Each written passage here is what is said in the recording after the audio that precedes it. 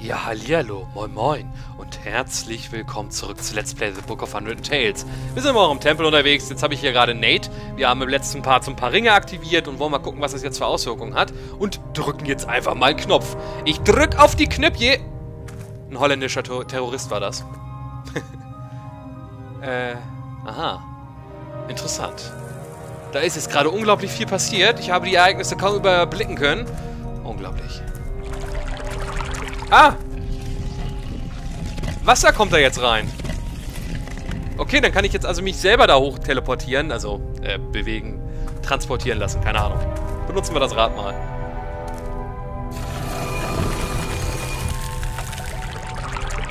Äh... Was bringt mir das, wenn ich das Rad drehe und dann hier eingesperrt bin? Die Tür ist verschlossen. Ja. Toll. Die Tür ist verschlossen. So. Äh, hat sich hier oben irgendwas getan? Wir gehen mal in den Raum. Äh, nö. Nani, my honey. Hier ist ja gar nichts. Sacre bleu. Da esse ich doch gleich ein Cordon bleu. Haha, ich esse sehr gerne Cordon bleu. Hm, wirklich köstlich. Wobei das jetzt hier, glaube ich, nichts zur Sache tut. Das hilft uns nicht unbedingt weiter.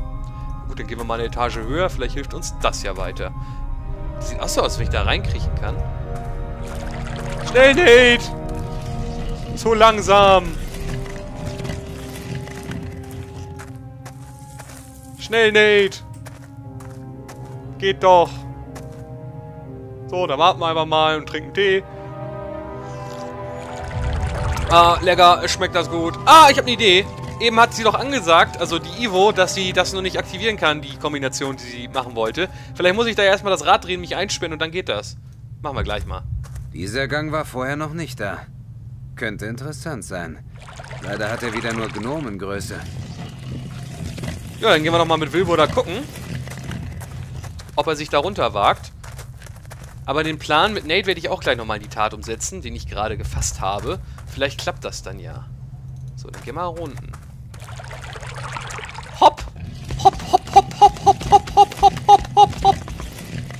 Wunderbar. Er bleibt sogar hier stehen. Vielleicht führt mich das jetzt zum letzten Kristall und dann hätte ich das ja schon fast gelöst, das Rätsel. Außer, dass wir Nate noch nicht nach oben befördert haben, wobei das gar nicht mehr so das große Problem sein sollte. Der Gang ist fast so klein wie die Luke drüben bei der Leiter. Nur kann man hier nicht einmal sehen, wohin er führt. Ah, das kriegen wir schon irgendwie raus. Aha, hier bin ich also. Jawolla! Ist da noch ein Kristall? Sie? Sie, Senora. Ja, Ausgezeichnet. Gut gemacht. Danke, ich weiß. Äh, okay. Wilbur ist toll, muss man schon sagen. Er schafft es tatsächlich, Kristalle herunterzuwerfen. Ich bin immer wieder erstaunt. Habe ich da was vergessen? Nicht, dass ich da jetzt schon wieder was vergessen habe. Nee, da soll ich scheinbar nicht nochmal hin, also habe ich da auch nichts vergessen. Gut, einziges Problem, was jetzt noch bleibt, wir müssen Nate nach oben bringen. Und da habe ich jetzt natürlich den ultimativen Plan. Und äh, ihr werdet gleich sehen, was passiert. Oder aber ihr werdet sehen, dass nichts passiert. Aber wir haben auf jeden Fall schon mal alle drei Kristalle. Und damit könnten wir ja eventuell die große Tür öffnen. Und dahinter könnte sich ja unter Umständen das mächtige Artefakt befinden. Was wir brauchen, um die Welt zu retten. Ein ziemlich geringes Ziel, aber ich nehme mich diesem Ziel doch an. Da lasse ich mich zu herab. Ja, was muss Nate auch so ein großer, stinkender, müffelnder Mensch sein? Kann er nicht einfach ein kleiner Gnom sein? Dann würde er auch durch diese Luke passen, könnte einfach die Leiter hochsteigen. Aber nein. Scheinbar haben hier auch irgendwie Kleinwüchsige, die, Kleinwüchsige diesen Tempel äh, unterhalten. Vielleicht waren es ja sogar Gnome. Oder Zwerge, die sind ja auch recht klein, nicht ganz so klein wie Gnome. So, nun geht's wieder nach unten. Schon, äh, aber eine tolle Erfindung hier, ne? Die haben den Fahrstuhl erfunden mit Wasser. Finde ich gut. Muss man honorieren. So. Dann betätige das mal bitte. Bring mich jetzt hier die Schotten dicht. So. Und jetzt nehmen wir mal Ivo. Der bleibt einfach mal da unten und versauert. Und dann machen wir mal das, was ich eben schon gemacht habe, aber er nicht unbedingt das aktivieren wollte. Oh, es ist sogar noch eingerastet. Kalt. Nass. Ja!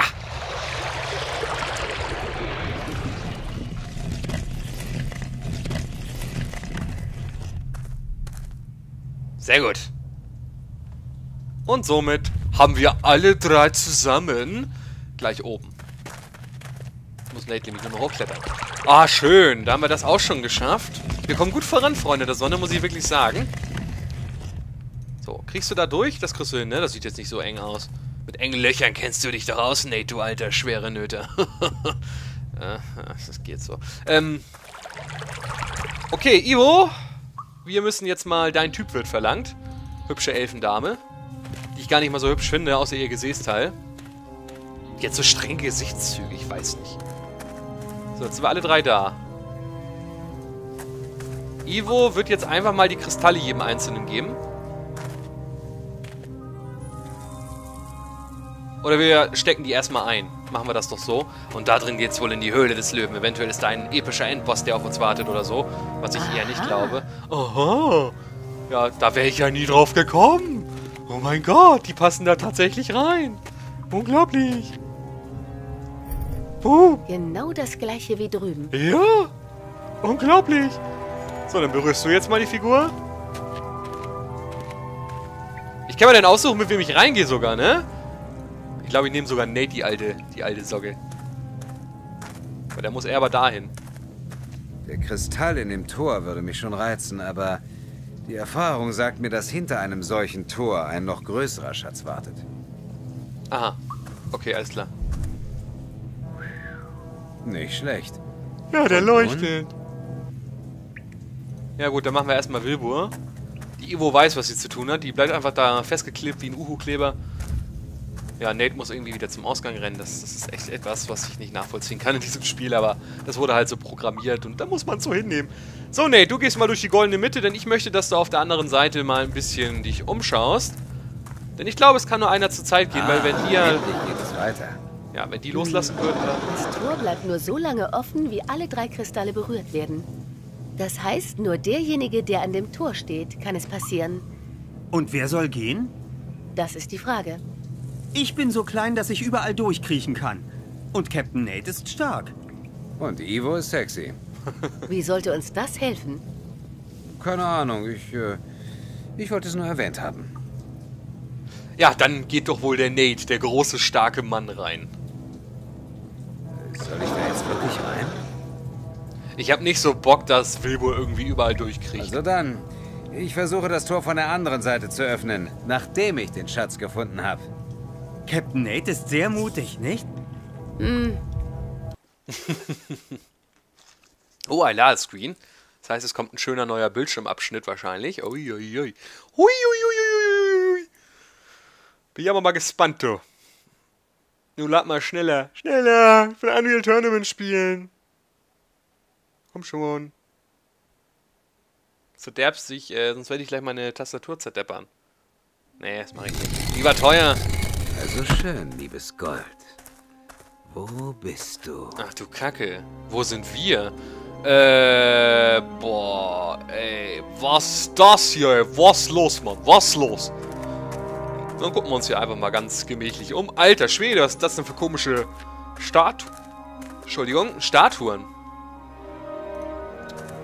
Ein gewöhnliches Holzpaddel. Als Luftschiffkapitän habe ich mit diesen Dingern eher selten zu tun. Oh, nehmen wir mal mit. Hm. Nicht jeder kann so ein guter Kapitän sein wie ich. Wie kommt bitte ein Typ mit einem Ruderboot mitten in eine Höhle? Das verstehe ich jetzt nicht. Ey, das verstehe ich jetzt nicht, das muss man mir mal erklären, aber ist auch egal. Oh, Metallstange. Eine kräftige Eisenstange. Gut einen Meter lang und etwa zwei Zentimeter im Durchmesser. Ja, das finde ich schön. Das hast du auch in der Hose, wa? ah, naja. So, ja, mit dem Boot können wir nichts machen. Da haben wir noch Steinchen, also süße kleine Steinchen. Ja, die nehmen wir natürlich auch mit. Ich bin ja ein passionierter Einige Steinsammler. kleine Steinchen. Blank und rund gewaschen von der Strömung. So wie ich sie am liebsten mag. Klein und rund gewaschen. Äh, wund. Nee, rund. Egal. Schön. Steinchen.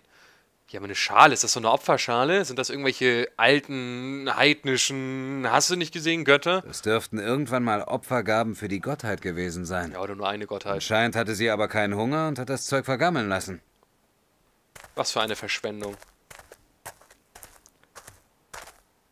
Hm. Ölsardinen in einer Dose. Die könnten sich doch noch gehalten haben.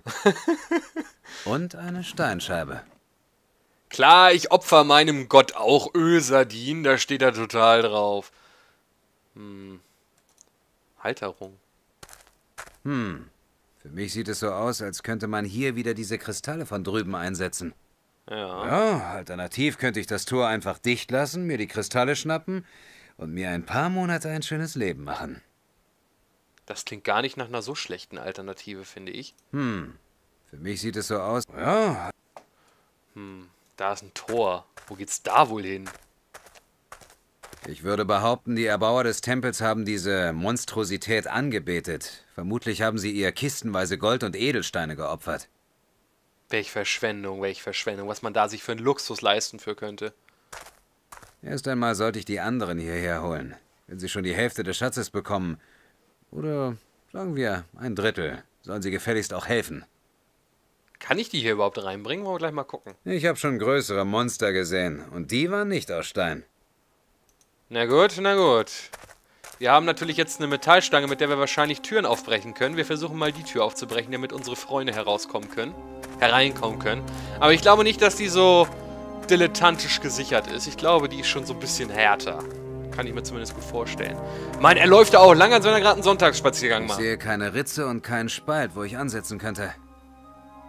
Scheiße. Paddel. Das hilft uns also schon mal nicht. Ja, die Steintafel ist natürlich auch Blödsinn. Ja, dann machen wir doch erstmal die Tür da auf, weil da sehe ich auf jeden Fall so eine kleine Ritze. Vielleicht bilde ich mir das auch nur ein. Ach ja, ich übernachte heute im Ritz. Das sind ja auch die Ansprüche, die ich zu pflegen hege. Ah. Wunderbar, darf ich eintreten? Schön. Jetzt hätte ich gerne heiße Schokolade. Ach du Kacke. Das sieht irgendwie aus, als wenn irgend so ein Gnom sich das alles erdacht hätte.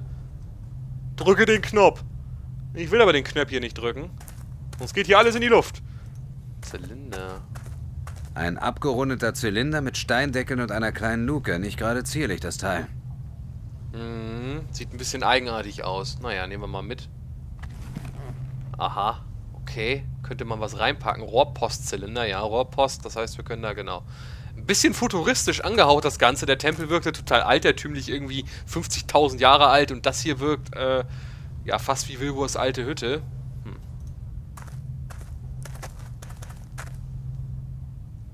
Plop. Nichts.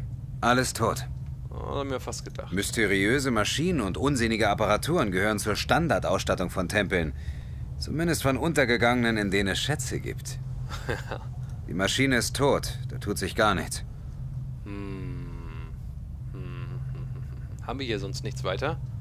Hier haben wir Steinscheiben und ich habe ja eine Steinscheibe. Das gucken wir uns gleich mal an. Zwei Steinscheiben mit einem Schaft in der Mitte.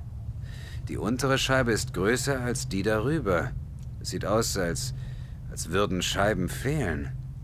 Auf den beiden Scheiben sind Symbole eingeritzt. Derselbe maritime Kitsch, der draußen überall an den Wänden ist. Wollen wir mal gucken. Nee, diese Scheibe ist zu klein. Da muss erst noch eine andere drauf. Okay, dann fehlt mir scheinbar noch eine Scheibe. Haben wir hier sonst alles? Nee, das Schild können wir noch lesen. Steht denn da Gnom? Auf dem Schild steht Gnomtech Tempel Kontrollsystem 1000 TM.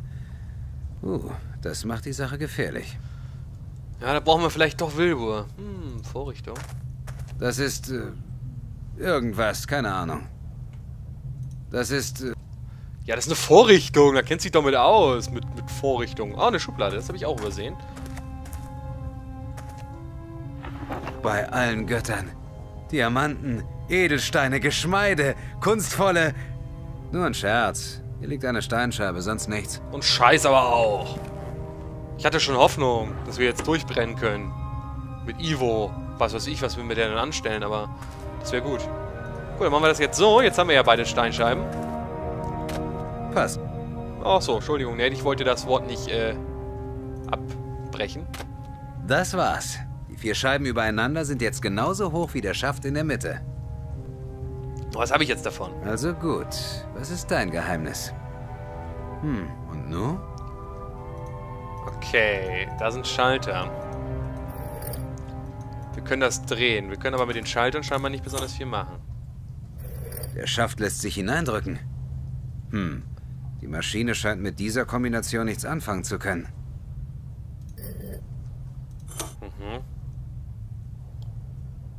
Okay, das erste grüne Lämpchen blinkt aber. Das heißt, das erste müsste richtig sein. Ich glaube, so wurde das, äh, wird das irgendwie symbolisiert. Ja, jetzt sind beide richtig. Wobei, ist gelb nicht eher so fast? Wir gucken mal, ob da sich was tut. Jetzt sind beide gelb. What the fuck? Machen wir mal weiter. Keine Ahnung. Muss ich ja nicht verstehen, ne? Ne, doch, eigentlich schon. Wäre cool, wenn ich es verstehen würde. Aber das kann man auch rumprobieren, glaube ich, herausfinden. Zumindest habe ich das, glaube ich, mal so gemacht. Ah ja, das sieht auch schon mal nicht schlecht aus. Das ist schon mal nicht rot. Oh. Ah, guck mal hier. Ah. Warte, der eine, der Stern war richtig. Der Stern war richtig. Den lasse ich mal da unten. Den Stern lasse ich mal da richtig. Ja, oder war das gar nicht der Stern? Ich wusste es gar nicht mehr. Tatsächlich so. Machen wir hier oben mal ein bisschen rumspielen. Ne, das war falsch. Aber er hat sich schon mal gedreht. Okay. Ne, jetzt war mein Stern ist, glaube ich, Bullshit.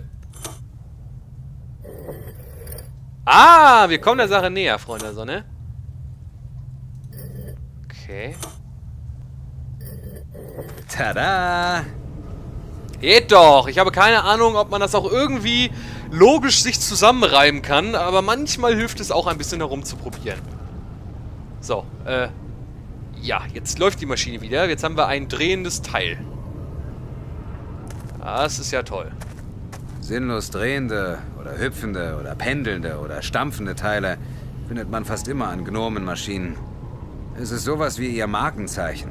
Es unterscheidet ihre Maschinen von guten Maschinen. Sinnlos drehen ist es... Ja gut, haben wir jetzt neue Möglichkeiten. Ich weiß nicht, wie uns das jetzt erstmal weiterhilft, dass sich da jetzt was dreht. Ey, nicht lenken, nicht lenken. Stop! Danke. Ja, wir können da was in den... Wir können da jetzt was reinhauen. Und weg damit. Ah ja. Da ist Ende. Okay, was wir damit jetzt noch anfangen können, das müssen wir erstmal noch herausfinden. Aber ich würde vorschlagen, für den gegenwärtigen Zeitpunkt ist der Part erstmal zu Ende. Wir haben eine tolle Gnomenmaschine wieder in Gang gesetzt. Ich weiß nicht, ob das eine gute Idee war und ob hier nicht jetzt bald alles in die Luft gejagt wird. Aber ist auch egal. Wir werden schon irgendwie überleben. Bis zum nächsten Mal. Euer Arkus. Auf Wiedersehen. Tschüssi. Koski.